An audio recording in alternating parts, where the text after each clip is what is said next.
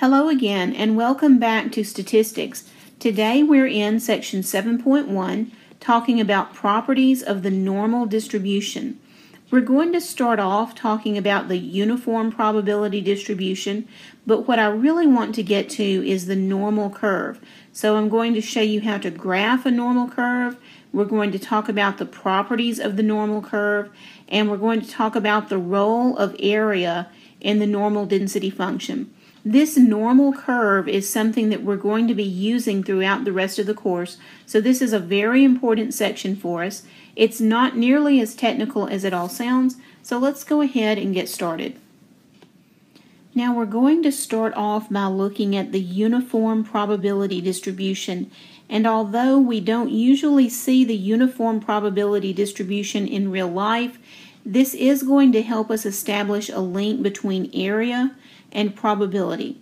So what we're doing is looking at a simplified example before we jump into the normal curve. This is example one from your textbook. It says, imagine that a friend of yours is always late.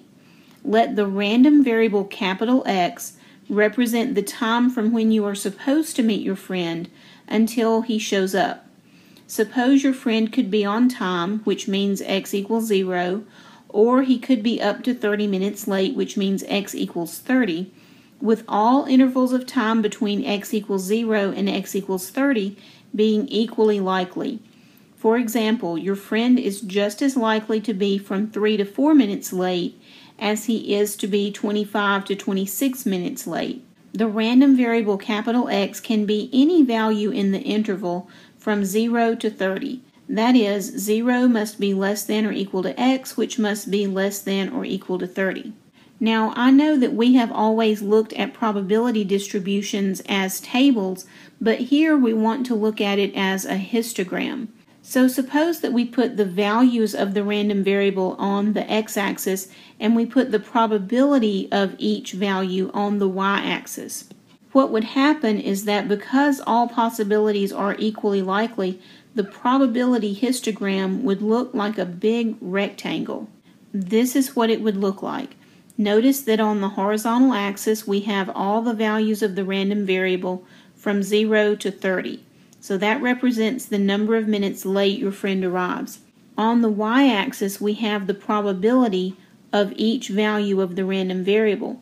So there are 30 minutes between 0 and 30. Therefore, the probability that your friend arrives during any one minute is 1 30th. So we don't have the individual bars marked off, but each bar has a height of 1 30th. Notice that the area of the rectangle is 1, because remember the area of a rectangle is length times width. So the length here is 30, and the width is 1 30th, 1 30th times 30 is 1. So that's important that we notice that the area equals 1.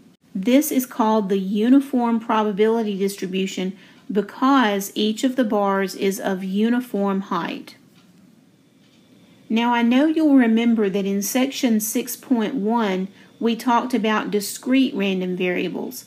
Many random variables are not discrete but continuous the probability of your friend being exactly 24 minutes late is zero. And I know that might seem a little counterintuitive at first, but the probability of your friend being exactly 13.592 minutes late is also zero. In fact, the probability that your friend arrives at any one instant is zero. That's because we calculate the probability by the number of ways to observe any particular value divided by the number of possibilities.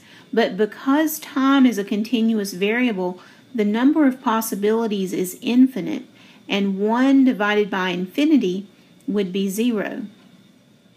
To get around this problem, we always compute probabilities of continuous random variables over an interval of values.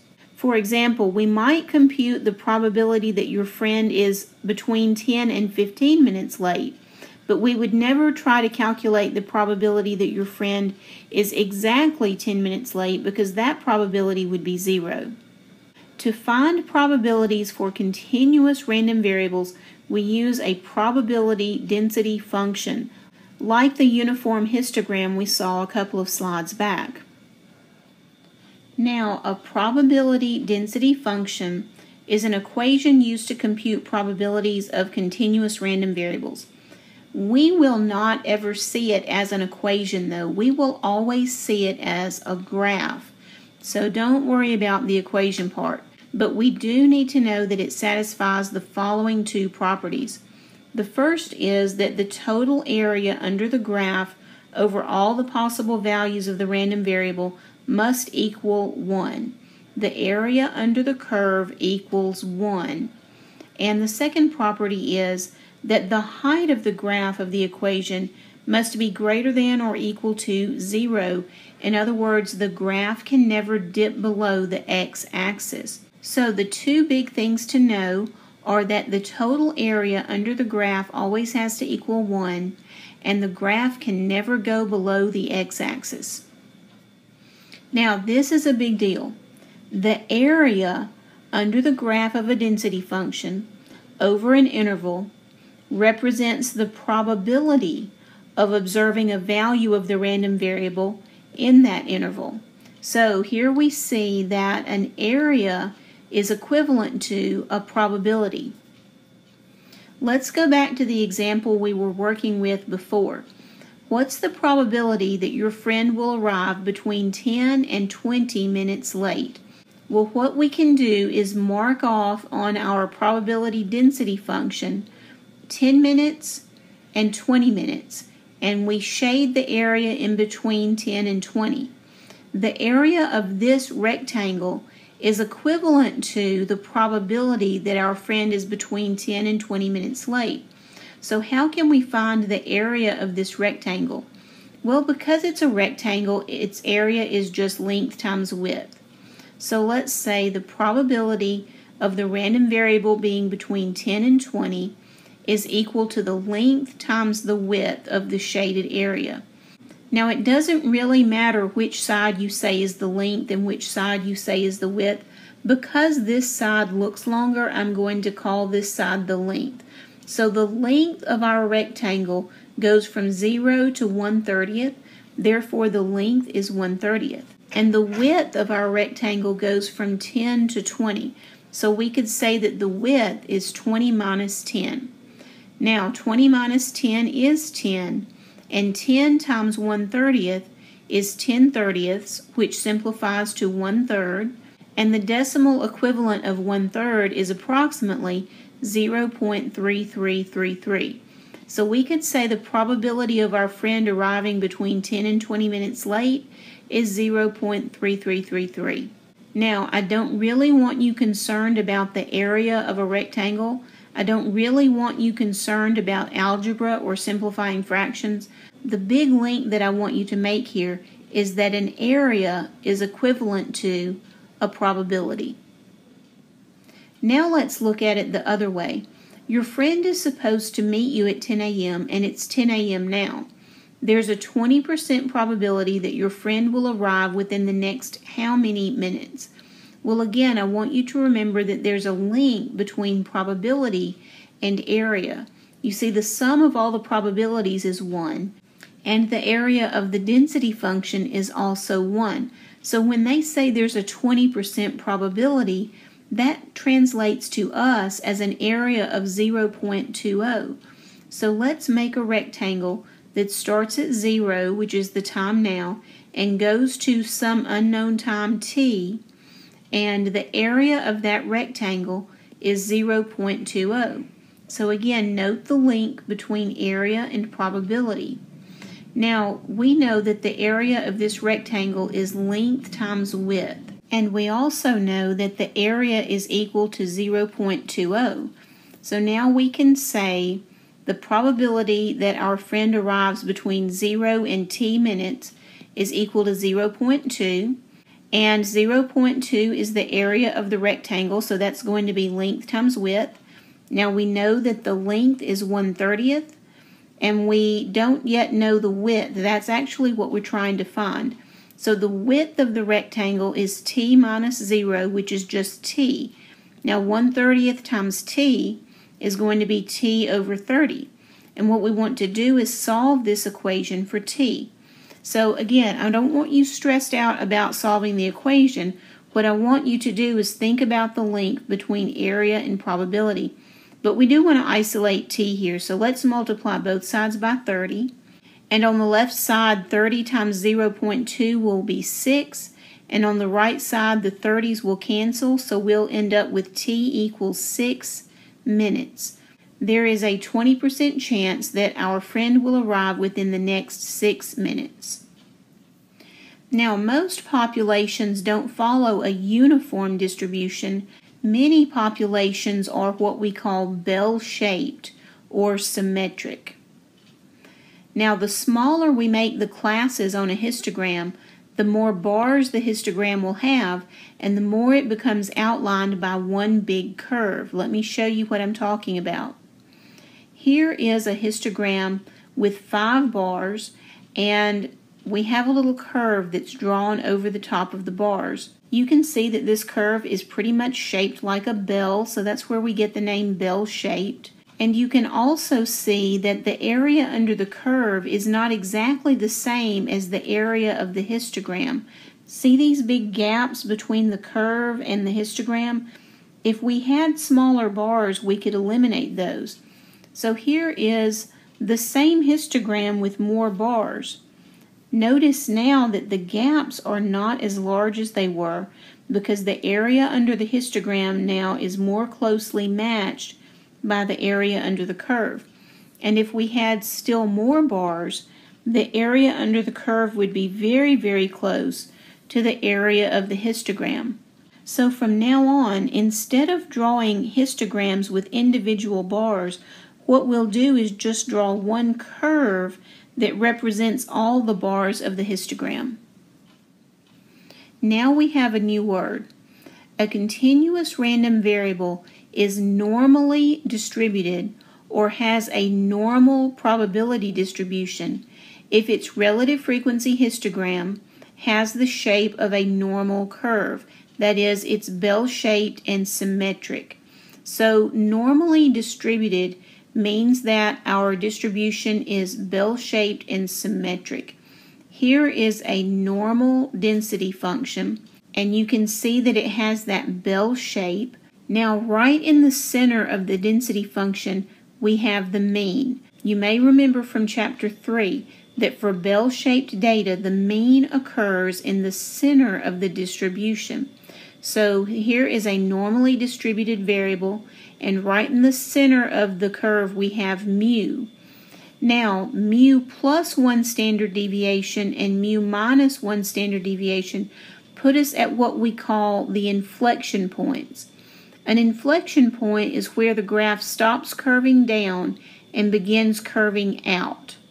An inflection point is just where the graph changes the way it curves.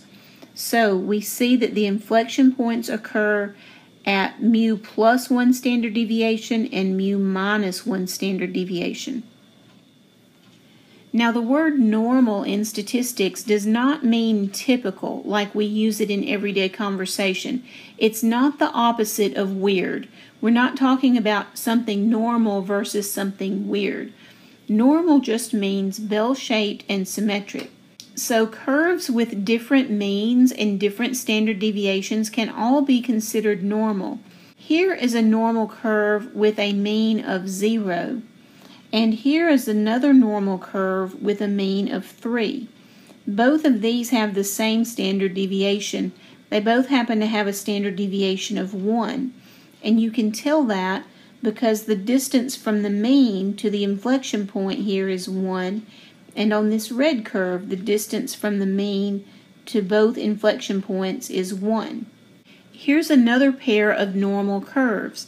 Both of these curves have a mean of 0, but the blue one has a standard deviation of 2.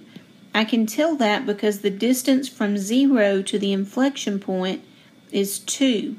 But the red curve has a standard deviation of 1, and I can tell that because the distance from the mean to the inflection point is 1.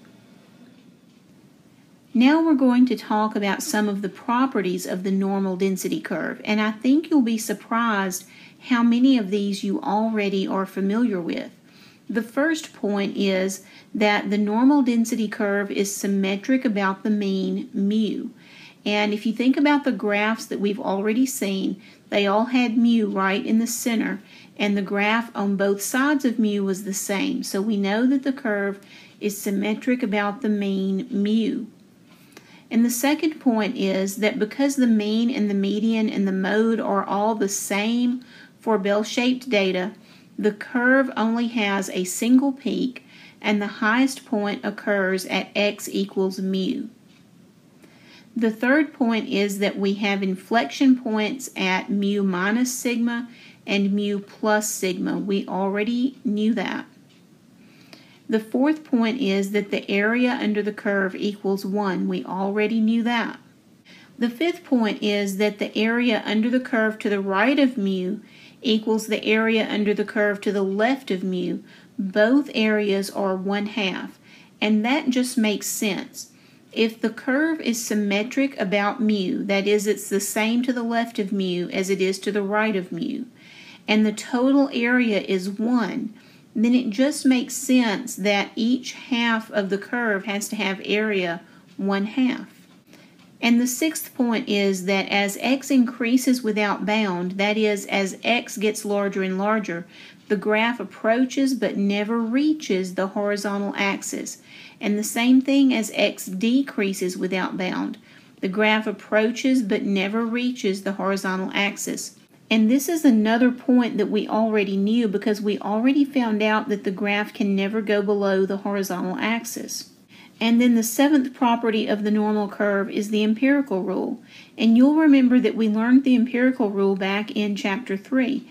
And the empirical rule just says that for bell-shaped data, approximately 68% of the area under the curve is between mu minus sigma and mu plus sigma Approximately 95% of the area is between mu minus 2 sigma and mu plus 2 sigma, and approximately 99.7% of the area is between mu minus 3 sigma and mu plus 3 sigma. Here's a diagram to help us remember the empirical rule.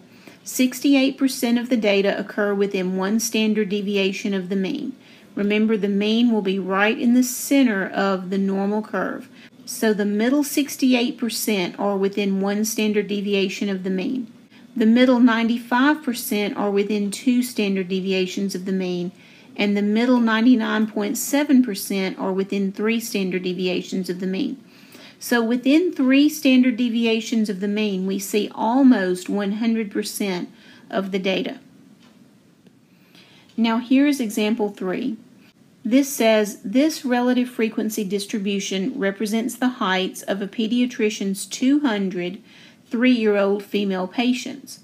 The raw data indicate that the mean height of the patients is mu equals 38.72 and the standard deviation is sigma equals 3.17. So here we have a pretty large probability distribution or relative frequency distribution. The relative frequency of heights 29.0 to 29.9 is 0.005. The relative frequency of heights 30.0 to 30.9 is 0.005, and so on. And remember that if we add all the relative frequencies together, we should get a sum of 1. Now, here is a histogram that represents the data we saw in the relative frequency distribution on the last slide and it says draw a normal curve with mu equals 38.72 and sigma equals 3.17 inches on the relative frequency histogram. Compare the area of the rectangle for heights 40 to 40.9 inches to the area under the normal curve for heights between 40 and 40.9. So, a normal curve with mu equals 38.72 would be a symmetric bell-shaped curve whose highest point is at 38.72, so about right here. So here is our normal curve. So here is my normal curve, and you can see that the mean of this curve is occurring at approximately 38.72. And now let's mark off the heights from 40 to 40.9, and we'll shade in between those two marks. Now what they want us to do is compare the area under the normal curve between these two marks to the area of this bar from 40 to 40.9. And you can see that the areas are almost the same except for this little tiny corner of this bar. So the area of the shaded region is just slightly less than the area of that particular bar. And so one more time, we see the link between area and probability or area and proportion. And now let's look at example 4. This says the serum total cholesterol for males 20 to 29 years old is approximately normally distributed with mean mu equals 180 and standard deviation sigma equals 36.2. Draw a normal curve with parameters labeled. So we know that a normal curve is just a bell-shaped symmetric curve and we know that it will have mu right in the center. So let's go ahead and draw that familiar bell-shaped curve and right here in the center we'll have mu which is 180. Now they gave us the standard deviation and we know that the inflection points where the graph stops curving down and begins to curve out, these inflection points occur one standard deviation away from the mean. So if I say 180 plus 36.2, that puts my right inflection point at 216.2. And if I say 180 minus 36.2, that puts my left inflection point at 143.8. And there is our normal curve with parameters labeled. And then part B, an individual with total cholesterol greater than 200 is considered to have high cholesterol. Shade the region under the normal curve to the right of x equals 200. Okay, well if the mean occurs at 180 and the inflection point occurs at 216.2, then 200 occurs somewhere in between those two. So I'm just going to put right here a line to represent 200 and I'm going to shade everything to the right of that line that represents 200. So now we have shaded the region under the normal curve to the right of x equals 200. Now part C. Suppose that the area under the normal curve to the right of x equals 200 is 0.2903. Don't worry right now about where that number came from. They just gave it to us. Let's just take it. The area under the normal curve to the right of x equals 200 is 0.2903. Provide two interpretations of this result. Well, there are two different ways to think about this, and they're both important. The first thing we could say is that the proportion of 20 to 29 year old males with total serum cholesterol greater than 200 is 0.2903. In other words, we can expect that 29.03% of 20 to 29 year old males have a serum cholesterol greater than 200. The other way to think about it is in terms of probability we could say that the probability that a randomly selected male 20 to 29 will have total serum cholesterol greater than 200 is 0.2903. So the area under the curve equates to proportion and it also equates to probability.